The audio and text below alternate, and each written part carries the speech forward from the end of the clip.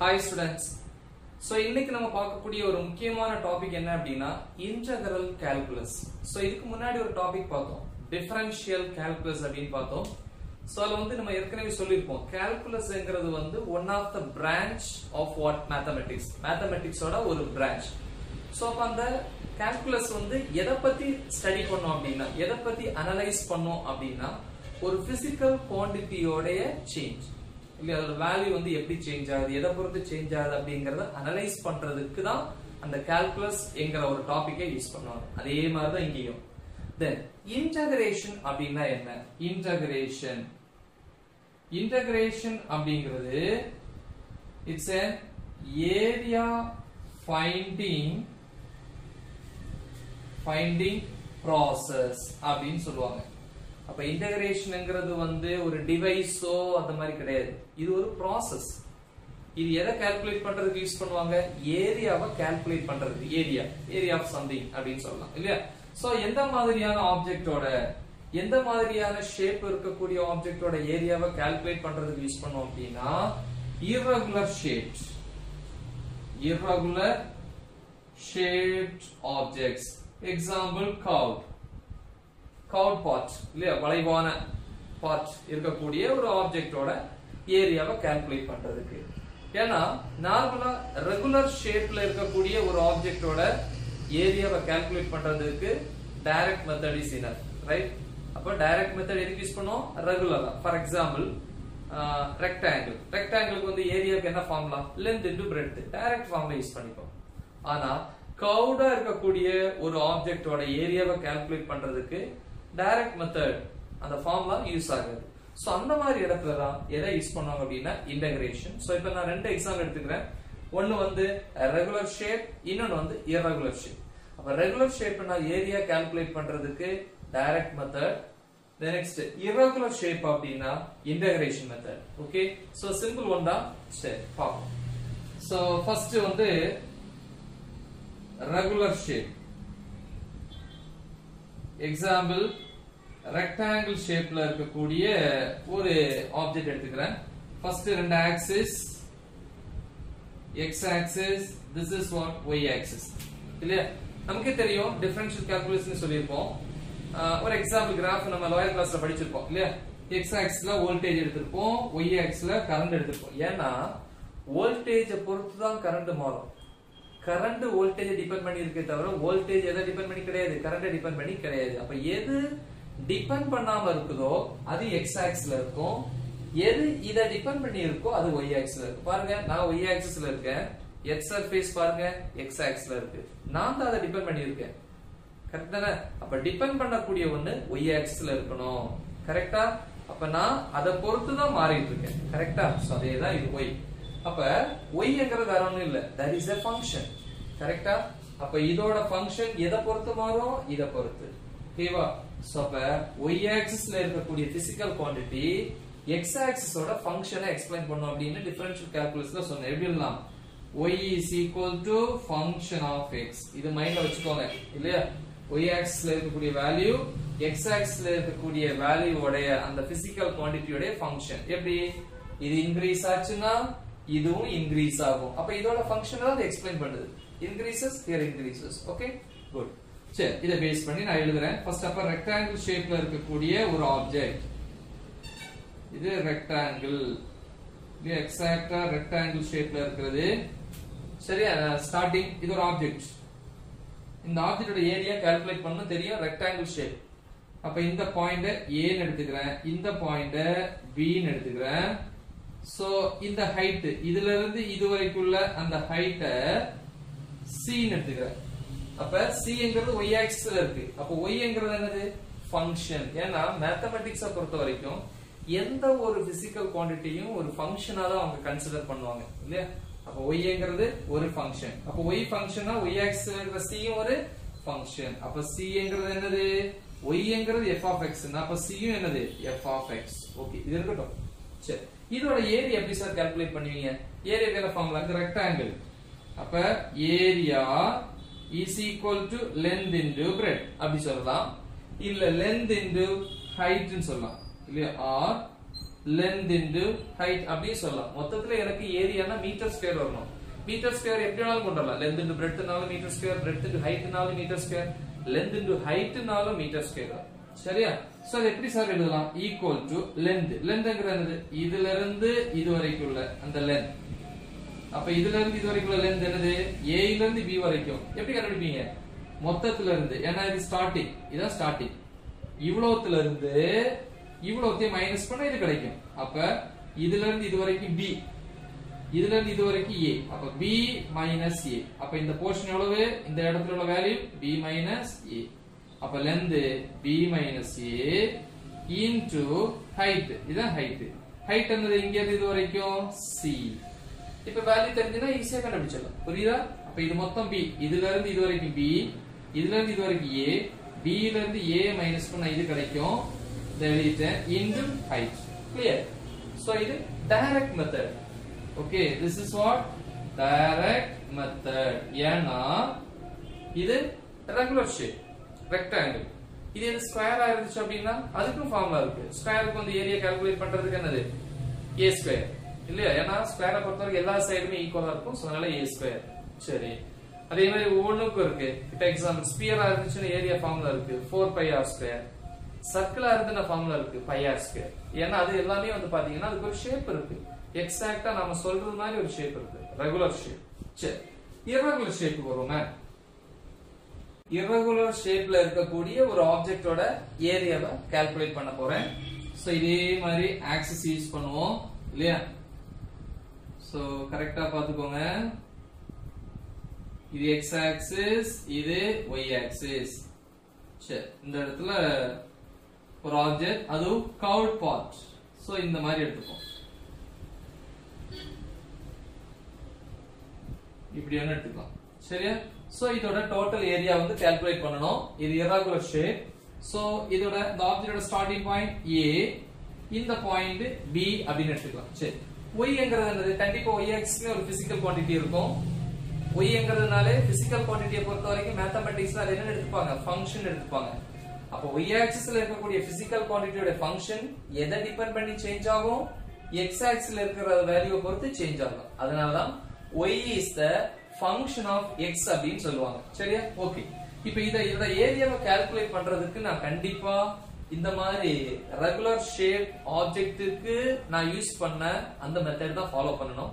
அதனால என்ன பண்றேன் அப்படின்னா இந்த இரகுலர் ஷேப்ல இருக்கக்கூடிய இந்த ஆப்ஜெக்ட என்ன பண்றேன்? சின்ன சின்ன ரெக்டாங்குலர் ஸ்ட்ரிப்ஸா வந்து மாத்த போறேன். ஸ்ட்ரிப்ஸ்னா தெரியும் இல்லையா? சின்ன சின்ன ரெக்டாங்குலர் போர்ஷன்ஸா மாத்த போறேன். இத பாருங்க. இது ஒரு ரெக்டாங்குலர் ஸ்ட்ரிப் ஓகேவா சோ இது எக்ஸ் ஆக்ஸ்ல இருக்கிறதுனால இந்த பாயிண்ட எக்ஸ் ஒன்னு சொல்ற. எப்படி இங்க ஏபியோ அதே மாதிரி ஏஎக்ஸ் ஒன் ஏன்னா ஏரியாவுக்கு என்ன ஃபார்முலா ஒரு ரெக்டாங்கிள் அப்படின்னா area is equal to length into breadth அல்லனா length into height எப்படி வேணாலும் சொல்லலாம். சோ அப்ப லென்த்னா இவ்வளவு எடுத்துக்கிறேன். அப்ப டோட்டல் எக்ஸ் ஒன் எக்ஸ் ஒன்ல இருந்து ஏ மைனஸ் பண்ணா இது கிடைக்கும். What is the change in X X உள்ள மாற்றம் கரெக்டா டெல்டா எக்ஸ் ஸோ அதே மாதிரி இங்க ஹைட் பார்க்கணும். ஓகே லென்த் ஓவர் இனி ஹைட் ஹைட்னா இதுல இருந்து இது வரைக்கும் உள்ள ஹைட் இதுதான் ஹைட் இங்கதான் ஹைட்டு அந்த ஹைட் எதுல இருக்கு? ஒய் ஆக்சிஸ்ல இருக்கிறதுனால ஒய் ஆக்சிஸ்ங்கிறது எதோட ஃபங்க்ஷனை சொல்லும்?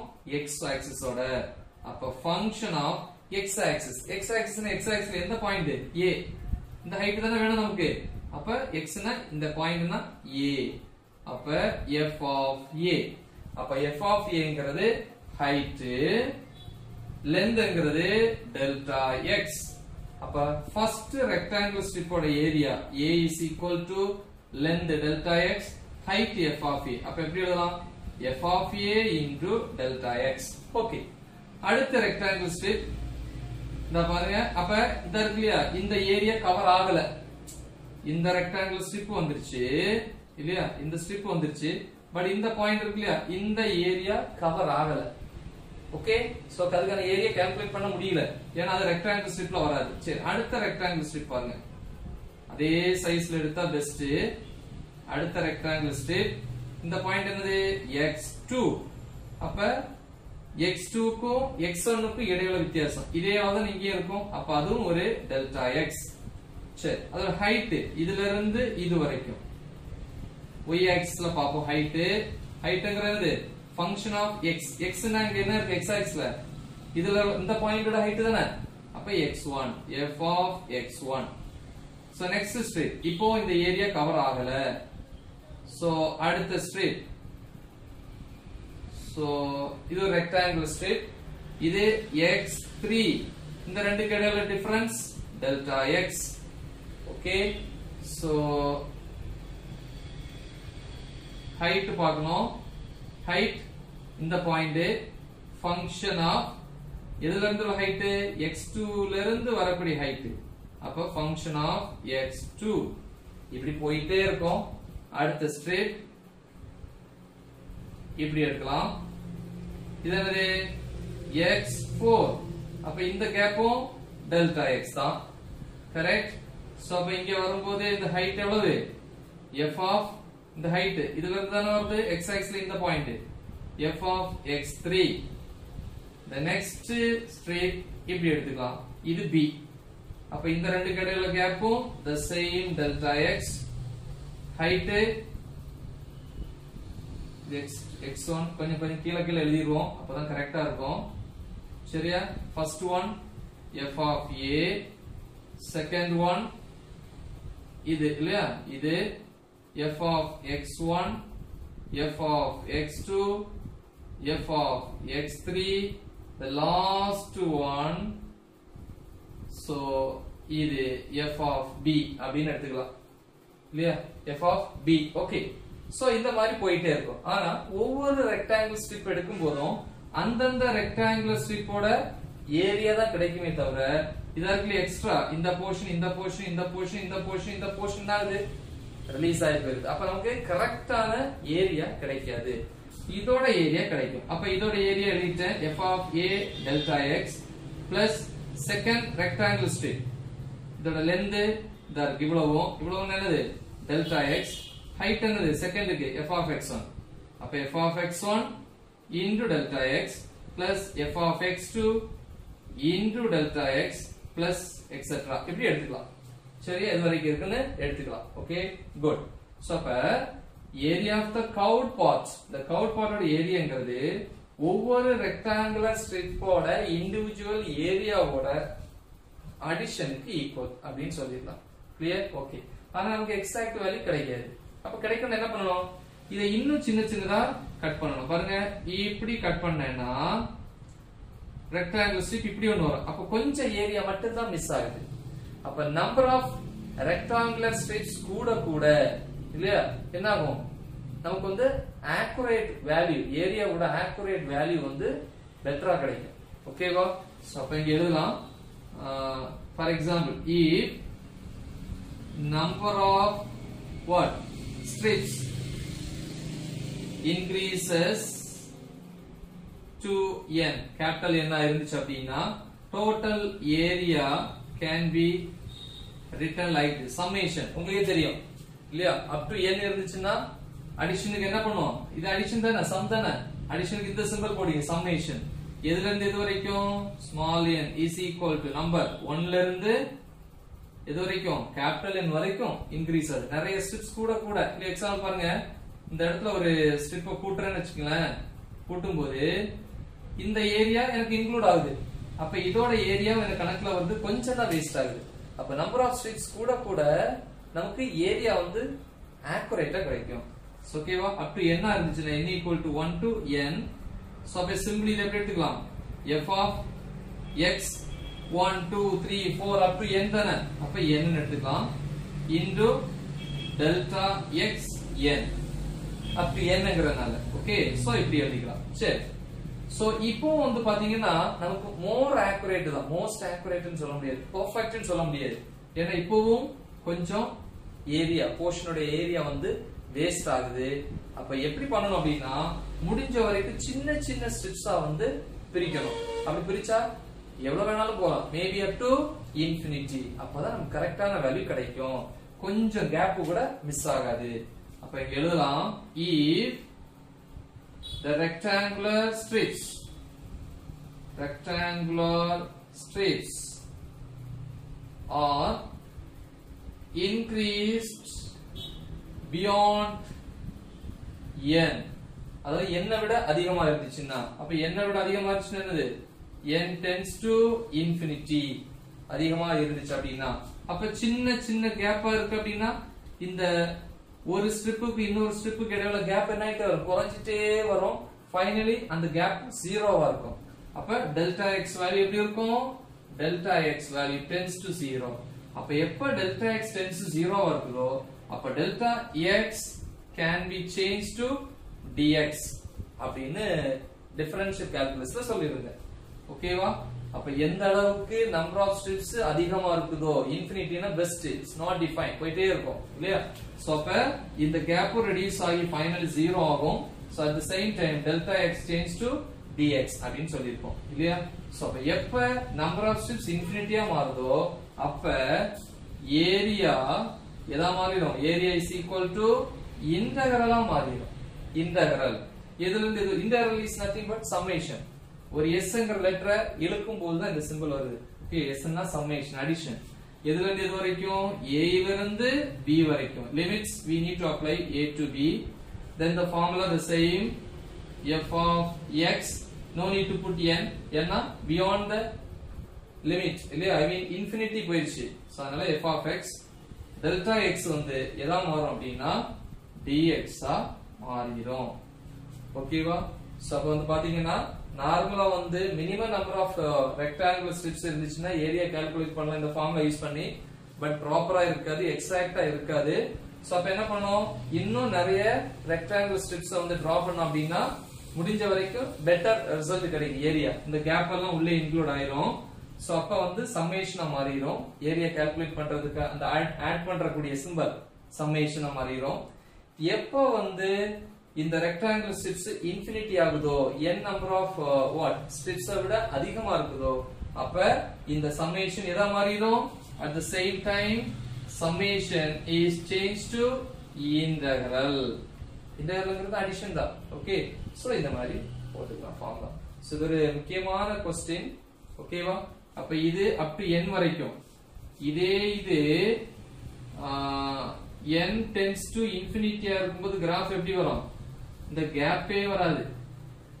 இப்படி இருக்குன்னு வச்சுங்களேன் இது ஃபுல்லா இது ஃபுல்லா எல்லாமே என்ன ஆயிரும்? ஃபுல் ஏரியா நமக்கு கிடைக்கும். ஏல இருந்து பி வரைக்கும். The same formula. Area is equal to integral. A to b f of x dx. ஒரு கேப் கூட இருக்கு ஃபுல் ஏரியாவும் கவர் ஆயிரும். இங்க பாருங்க சின்ன சின்ன கேப் இருக்கு. ஓகே முக்கியமான கொஸ்டின் நல்லா தெளிவா பிராக்டிஸ் பண்ணுங்க. All the best thank you